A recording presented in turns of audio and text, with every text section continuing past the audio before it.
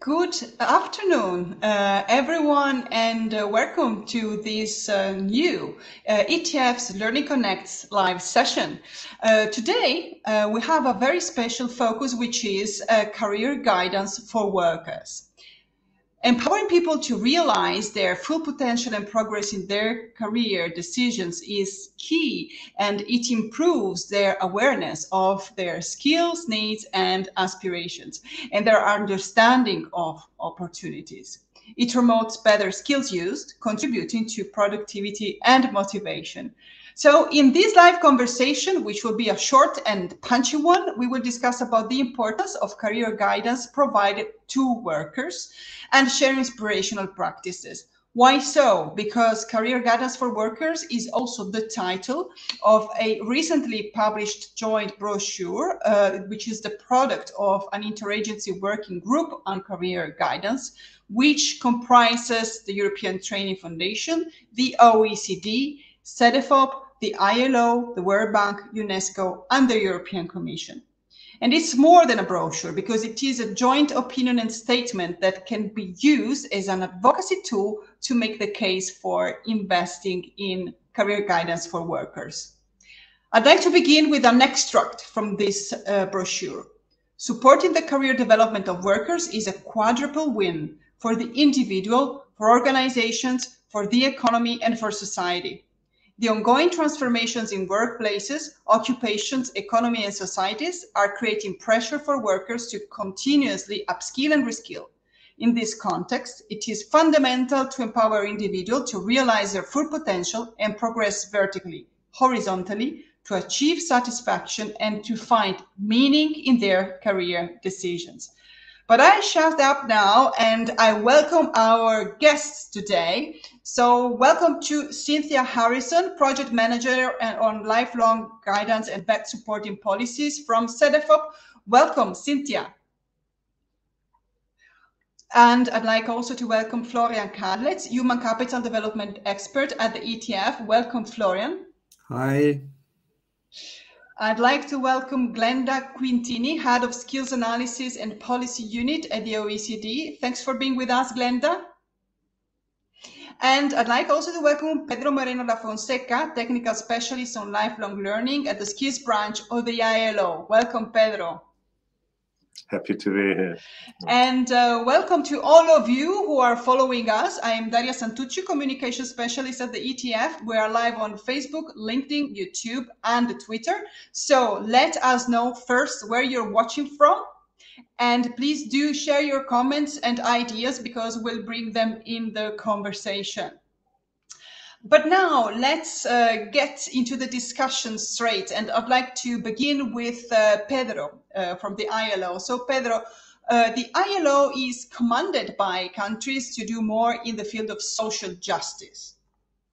And can you explain how career guidance can support social justice, justice especially when looking at workers? Pedro. Uh, thank you. Well, uh, indeed, uh, the ILO has a strong mandate for the development of social justice. It's a very strong point, also defended by our current Director General.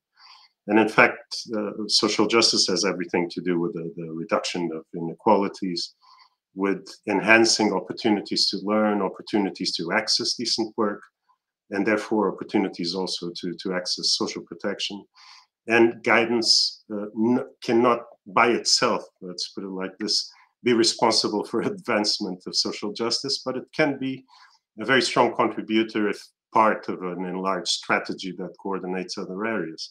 So, what very briefly, what it can do, it can do many things, and it can help promote horizontal and vertical career mobility for workers, especially in the context of the current transitions to enable a just transition into digital rich society that is also becoming more environmentally friendly and help workers to uh, to reskill to upskill. It can help transitions uh, into the formal economic sector it can support worker migration it can develop social capital and networks of workers it can develop a, a sense of personal agency it can also work as a strong advocacy tool for uh, uh, more vulnerable workers. The, I think the tricky part is the how. how this is achieved. And besides obvious mechanisms that already are put into place, like part of labor market policies, things that can be done to enhance this support. Uh, guidance can be more linked to, for example, social assistance mechanisms to reach into the informal sector. It can be more associated with emergency response mechanisms and the construction of social and economic resilience. It can be more profoundly linked to human de develop, uh, development resource, resource development in enterprises to systems that support individual investments uh, in, in lifelong learning. Uh, and it, it, also can be critical in terms of uh, uh, mainstreaming gender, gender sensitive approaches. So there's a very rich role that actually uh, guidance can play in terms of social justice. Thank you very much, Pedro. Um, you put the spotlight on uh, one of the on the tricky points, which is how this is achieved. And in this process, uh, a special role is uh, also played by uh, monitoring and uh, evaluation, which are key in ensuring quality um, for career guidance services, especially for workers. I'd like to, to ask this to Cynthia for, for CEDEFOP. What, what's the role of monitoring and evaluation?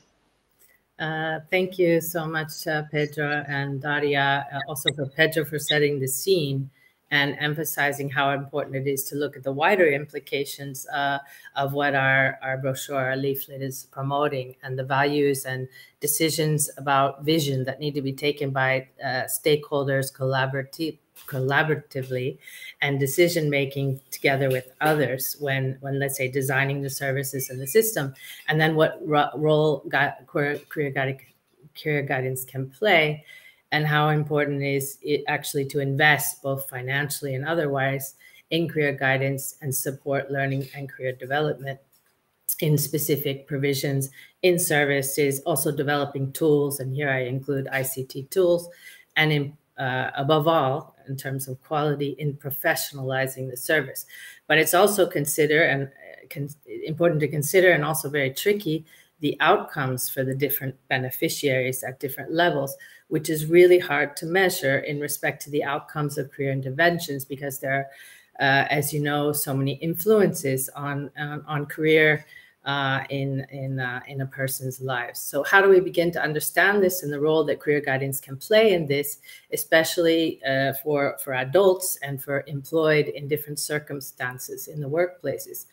As the readers will be, will be able to see in the leaflet, there are a number of key elements that feed into quality in in let's say designing a career services provisions and systems and and in, and for all types of workers. And this means also provisions scattered uh, about in different places especially for adults. So trade unions provisions workplaces external independent uh, public services like the public employment services uh, that sometimes and more and more cater to workers at least in europe and then private services. And monitoring and evaluation as you said are key uh, and that also it is systematic and whatever approaches need to consider above all uh, and, uh, and this is happening more and more frequently cooperation amongst the actors and also the collection of system-wide uh, qualitative and also quantitative uh, indicators. So what I mean is evidence, collecting evidence that is systematically collected, and, and this should create feedback loops.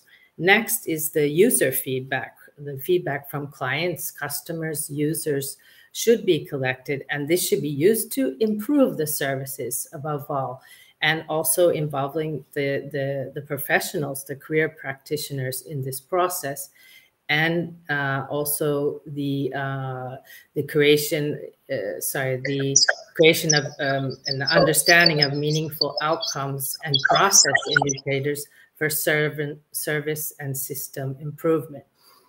And finally is the collaborative create, creation and use of quality frameworks, which use these meaningful indicators for assessing the inputs, the processes, so the career guidance interventions, process indicators, as well as the outputs and the interventions uh, of the services and the range and to look at how all of this uh, plays a role in looking at the range of outcomes for individuals, for societies, for the organizations, the providers, and at public uh, policy level. CEDEFOP is looking into this. We collection of expert papers. Maybe it will appear in the chat. Uh, volume one last year, and we held an expert workshop together also with our IAG uh, partners and it was called Towards European Standards in Monitoring and Evaluation in Lifelong Guidance. And these are expert papers written by CEDEFOP and also external experts. And volume two is on the way with some suggested uh, common indicators and the results of the workshop. Uh, and in that collection of paper, you will find examples from Finland, Ireland, Germany, German Public Employment Services, and Poland, uh, some, uh, let's say, theoretical, conceptual overviews, but also some really fantastic uh, literature reviews. Thank you. Thank you very much, uh, um, uh, Cynthia, and we'll uh, we'll touch upon concrete cases later on in the conversation. Before I leave the floor to Glenda, I'd just like to say hi to those of our followers who were so kind to let us know where they are um, watching from. We have Sandia from India, uh, Refik from Bosnia and Herzegovina, Sok from Cambodia, Vladica from uh, Serbia, Radica from Kosovo, Hamza from Morocco, Zainab from Tunisia, and then we have uh, Slovenia, Serbia, Kosovo again, Croatia, Holland, India, Albania. I mean, thank you so much. Uh, the geographic scope is really wide, uh, and thanks also to my colleagues who are sharing the various links uh, in the chat, and feel free to use those. Glenda, um, thanks for waiting. So the OECD recently conducted a survey on career guidance for adults. Um, can you can you please share the main insights, especially related to adult workers? Yes, absolutely. So the survey covers 11 countries and there's quite a broad range because we have Australia, we have the United States, we have Canada, but we also have France, Italy, Germany, we have Mexico, Chile, Brazil, Argentina. So it's a broad range of countries. And the point was to essentially put some numbers on what both Pedro and Cynthia have been saying so far. So understanding how many adults actually access career guidance, why they do it, what barriers they encounter, and a little bit also on the outcomes. So what we do find is that about 40% of adults, so four in 10, access career guidance every five years. Um, and there's a broad, there's big differences. So we have 50% in Australia and just 20% in Canada. Um, and then the reason why they do, many of them, is really work related. So 85% uh, of the respondents say that one way or another, they're looking for career guidance to improve uh, in their current job. So career prospects in a current job. They want to change their job, they're unemployed and they're looking for another uh, for another job opportunity. Um, again, the uh, those who do not access career guidance, where in a way we need to be concerned concerned and we need to try and find ways to act to lower the barrier. Say one, that they didn't think career guidance was particularly useful. So there is first an element of motivation, which we also see, for example, when people approach uh, approach adult learning. So they don't see the point and they don't see how that's going to benefit them.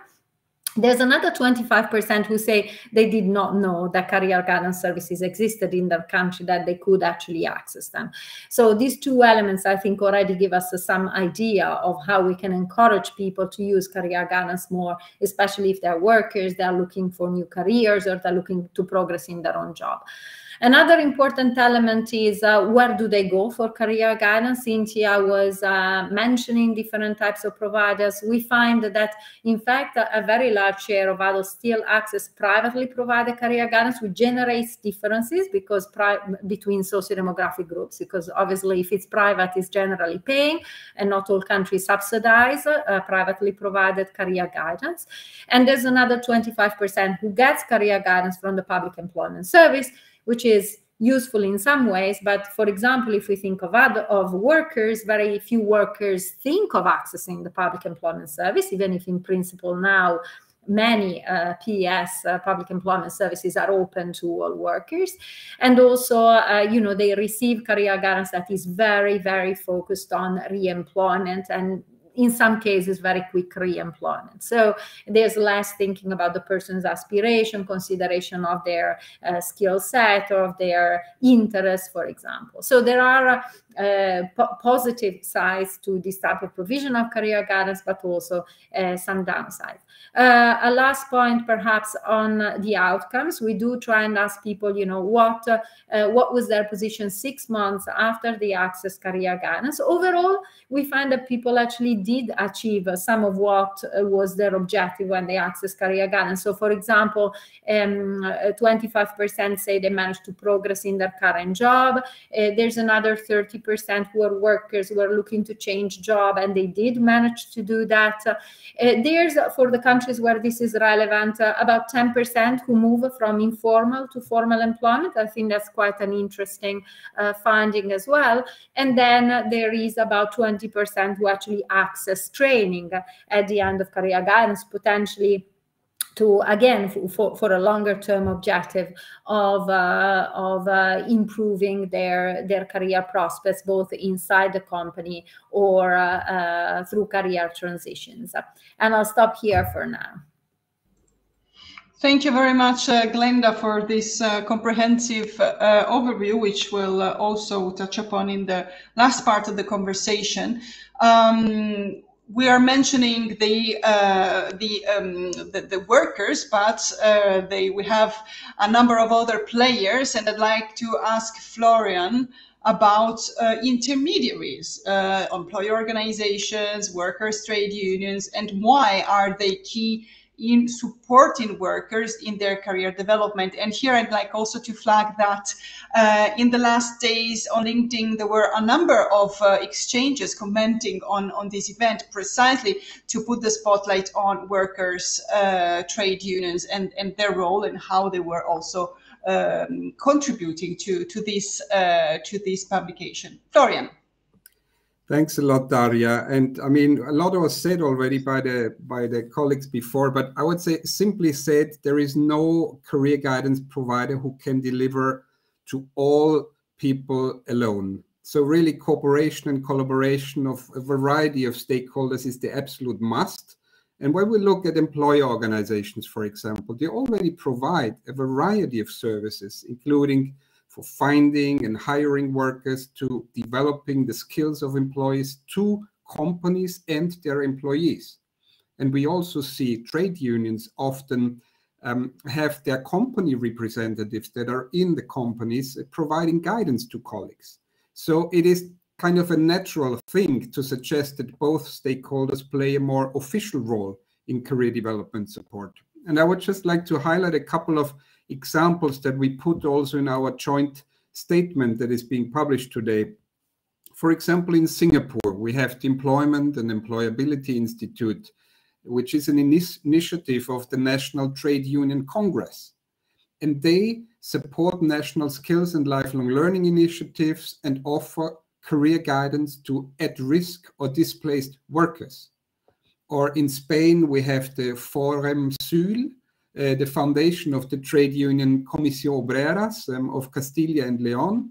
They provide a systematic trade union approach to support workers, like in the famous but unfortunately no longer running Union Learn initiative in the UK. So those systematic approaches are existing. And again, looking at employer organizations, on the other hand, especially those representing industry sectors and SMEs, they do play a key role in career guidance provision. For example, in Austria, uh, the Regional Chamber of Commerce of Tyrol supports the companies in their internal human resource development by offering employee counseling, talent assessment. They also support with staff development. What they did basically was they developed a map of future workplace competences and used it as a dialogue basis to discuss with business manager, with employees about the staff skills development. Also with the staff, not just the managers. And a recent uh, research called Connect, it's actually an EU project. Um, it was presented today at uh, the IAEVG conference, no, sorry, yesterday.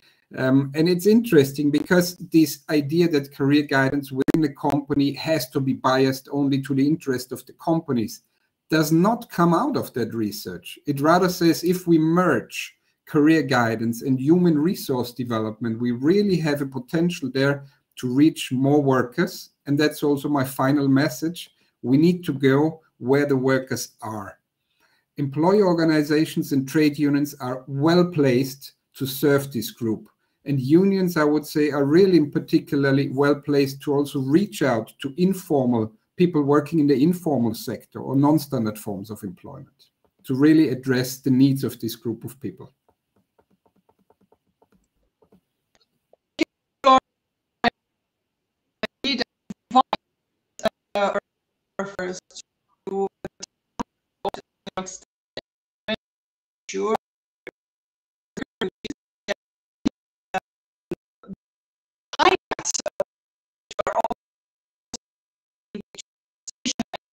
Light on also a number of categories of workers in big companies, in SMEs, in the informal sector, uh, etc. Now we go to a very uh, interesting round of true and false questions.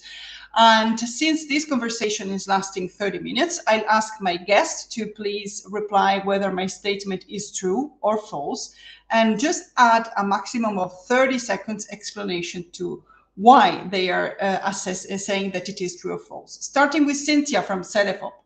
So Cynthia, Cedefop's analysis on disability and career guidance suggests that persons with disabilities often face additional barriers in their career path, such as limited access to career guidance services. Is this true or false, Cynthia? Uh, I would have to say true. Uh, in our analysis, uh, we've been doing together with our independent uh, network of well, independent experts in career guidance and development, CareersNet. Uh, we've been looking at examples in our inventory of guidance uh, systems and, and practices, and that may appear in the chat.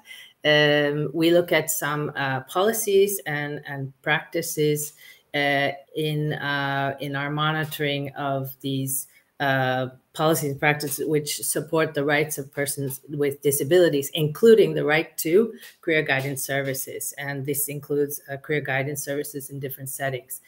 Um, and an estimated, just I mean, to give a, a, figure, an estimated 87 million persons with disabilities live in the European Union. And besides the barriers in their daily lives, they, we also note uh, uh, difficulty in accessing career guidance services, and in particular, career support to education and training to jobs and careers fitting their interests and needs are often limited. I guess that's 30 seconds more, but that's 30 seconds. Well yeah. done. Thank you very much, Cynthia. So next is Glenda. Uh, the OECD's analysis on career guidance for adults reveals that low-skilled adults utilize these services more frequently than high-skilled ones. Is this true or false?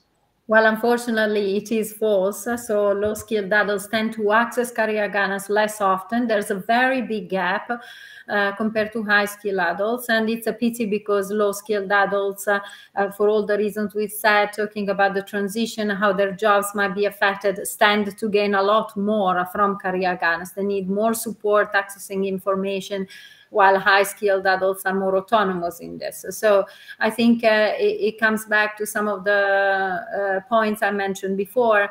Adults, and in particularly the low skill, may not see the point of career guidance, what it's going to bring to them um, they may not know that career guidance is available. So even more than for high skill adults uh, who have networks and family networks also to gather information, we need to reach out to them. There are some very good models some countries that have used uh, community leaders and people uh, who have the same uh, also um, socio-demographic background as the low skill they're trying to reach. So they go, uh, this is for example in Victoria in Australia, where they actually go uh, to uh, the local communities, the places where people meet, trying to encourage them to access career guidance. Similarly, I think uh, Florian mentioned uh, unions. Uh, so there's Union Learn in the UK, which does something similar. There are Union Learning representative in firms that go out and particularly try to provide guidance to low-skilled adults to encourage them to access training and address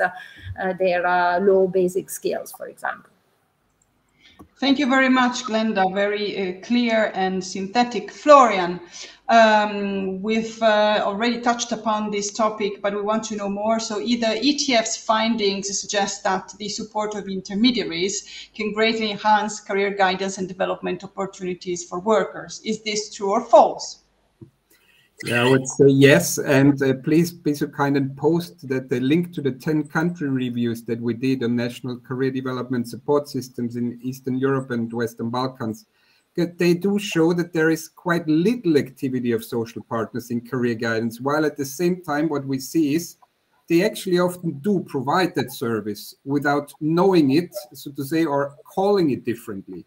Mm-hmm. And um, to to answer the, the question in a different way, we met recently with the International Trade Union Confederation, the, the Pan-European Regional Council for uh, Southern and Eastern Europe, and also with the regional union representative in Western Balkan countries.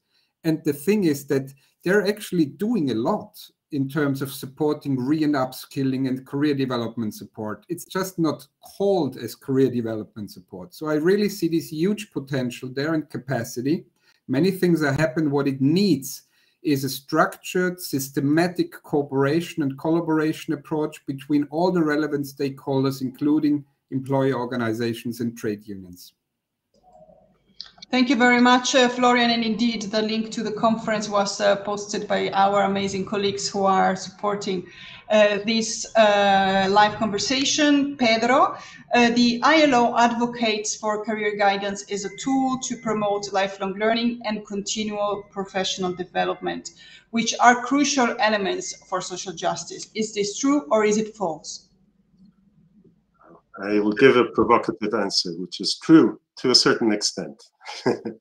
Two, uh, in as much as, for example, we've uh, just recently approved the global strategy on lifelong learning, which was very strongly participated by the social partners in its definition. And of course, we hope to keep on working together to advance the strategy. And guidance plays an extraordinarily strong role as a promotional factor to, uh, for lifelong learning. What I would um, rather say, though, is that guidance empowers people to identify and seize lifelong learning opportunities in line with their needs and their personal aspirations, which it also helps refine. So rather than the promotion of the system for the system itself. So I think this is an important nuance in, in what we are discussing. And uh, of course, lifelong learning is extraordinarily important for the advancement of, of, social justice. And I would like to mention a few aspects I didn't mention before, because I think it's important in breaking a number of negative cycles, because it, in, it enhances opportunities for the ones who haven't finished their, their, their basic schooling. It creates opportunities for uh, young people that are not in employment, and they're not, and they're not in formal employment. Let's put it like this: and adults that are not in formal employment. So people who are working in informal economy. It also helps people who are in mid-career but in a career slump and they don't know exactly how to leave it how they should shift in which direction they should go. This is a very important group that can't be neglected and lifelong learning is is there for that. And uh, it also uh, when when we come to the role of career guidance in relation to lifelong learning what it strongly does is to make people aware that there is recognition of prior learning. There are quality micro credentials out there that maybe can build towards qualifications and ease access into decent work. There are flexible learning solutions, there's work based learning. So there's a plethora of solutions that people may not know and really may not know how to access. So I think this is important to, to underline also. Absolutely. And when we, we, we talk uh, about uh, workers and adult workers, we cannot uh, consider them as one uh, unique flat group. There are diverse stories, diverse backgrounds, diverse employment places, diverse countries. So thank you very much for, for flagging that. Um, before we close the conversation, I'd like to uh, go back to, to the chat because our followers have been actively participating. So I'd like to read two comments. The first one is from uh, Emma Perme, uh, who is saying, uh, that it is very useful to have this event and thank you for sharing uh, the link. It's really inspiring to hear snapshots about the career guidance for workers uh, from Slovenia. Thank you very much for for sharing your uh, your thoughts. And then Laura Amati is writing, uh, what I notice and is not sufficiently addressed by the public policy discourse is the difficulty to change career, especially for people older than 35 years. Companies prefer people who have chosen a certain career immediately after school or university and do not want to risk to give a chance to people with the potential but not the usual profile. Thank you very much, Laura, for, for sharing your thoughts. I, I think this uh, links also very well to the variety uh, of, of, of people and context, which was mentioned before. And also, if I'm not mistaken in the notes I took, uh, the, um, the, the behavioral and the cultural aspects, which uh, I think were mentioned by Cynthia. I hope I'm not mistaken. Um, uh, is anyone willing to comment on this point and then we uh, wrap up and close the conversation maybe something uh, to say that uh, I feel now we do have kind of a unique opportunity on on that point, on the point of you know recognizing people's skills as opposed to uh, recognizing people's experience and people qualifications only. Uh, and I think that's uh, unfortunately due to the many skill shortages we're observing everywhere. So we see that because companies are struggling to fill positions, they are a lot more uh, promoting approaches which we're now calling skills first, but uh, both uh, I and my colleagues on the call have been have been saying, you know, that we should look at skills rather than just pure and simple qualifications. So we should look at both. And I think now there is a bit of momentum on this. So there is more momentum about, uh, uh, you know, making those transitions happen because. Uh, there is a need for uh, for skills and for workers and for reskilling and, and, and preparing uh, workers for transitions that uh, that there wasn't so so pressing before. So, thank you, Glenda. I see that Pedro is willing to add something. Well, just very briefly, I think this also goes hand in hand with what was mentioned a bit before, which is the development of more strategic approaches to uh, to the development of human resources in, in, enterprises. Frequently, the choice is not to hire a new person, but actually to take care of the workers that you have and enhance the potential of the workers that you have. So the, the fact is that many enterprises are simply still not ready to uh, make these investments in, in, terms of staff planning uh, and in terms of staff development. And you can identify critical pathways within the enterprise that amplify simultaneously opportunities for workers, productivity, competitiveness. So these things are not necessarily competing uh, and career guidance can be really the oil in the machine to help uh, all the, the, the, parts that are involved. And I think that a lot of the enterprise level work, which is currently developed, uh, is, illustrative of this uh, new reality. Thank you very much. Uh, Cynthia. I can add something here as well, just to, I, I could have linked it also back to the monitoring evaluation, but just a minute, mention career management skills because we often we talk about skills you know vocational skills hard soft and transversal and so on. But just to say that career guidance very much focus on these kind of you know career management related outcomes and these should be really considered and taken into account when we think about the benefits and uh, of career management skills and also in terms of monitoring this and finding uh, ways of developing uh, at the national level regional uh, career management skills frameworks. So this also supports the development of other skills uh, and so this is sometimes this is a little bit forgotten in the discussion. Thank you Thank you, Cynthia. And Florian for one last uh, conclusion.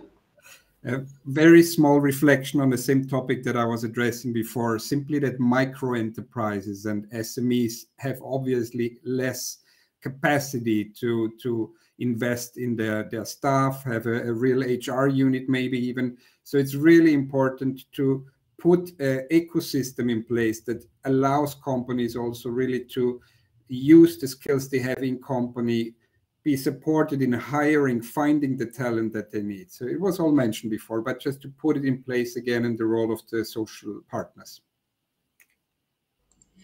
Thank you very much, uh, Florian. Uh, so career guidance is the maybe can I add the word the green fuel in the machine that helps all parts function better together. Uh, I invite uh, all of you to please uh, click on the link which my colleagues have already shared and might share again and um, have a look at the uh, joint statement, a brochure prepared by the Interagency Working Group on Career Guidance, uh, comprising ETF, OECD, CEDEFOP, ILO, World Bank, UNESCO, and the uh, European uh, Commission.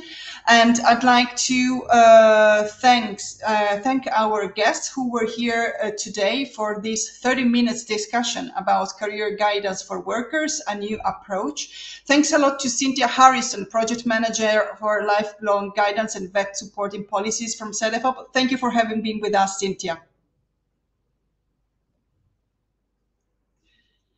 Thanks a lot also to uh, Florian.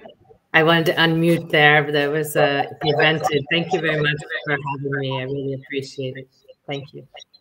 Thank you so much. Uh, thanks a lot also to uh, Florian Kadletz, Human Capital Development Expert at the European Training Foundation. Thank you, Florian. Thanks a lot, and thanks to the whole team of speakers. Thanks a lot also to Glenda Quintini, Head of Skills Analysis and Policy Unit at the OECD. Thanks, Glenda. Many thanks. Thanks for inviting me. And thanks a lot to Pedro Moreno da Fonseca, Technical Specialist on Lifelong Learning Skills Branch at the ILO. Thank you. And thanks a lot to all of you who have participated live. I know that in the chat there are more questions coming. They will not be, remain uh, uh, un, un, untouched because we will get back to you in the chat. And also feel free to contact us and all the speakers anytime. And let's engage in the discussion uh, for the next days. So thanks a lot for watching. Thanks to all the technical team, to all the speakers, to all of you, and I wish you a beautiful afternoon. Bye.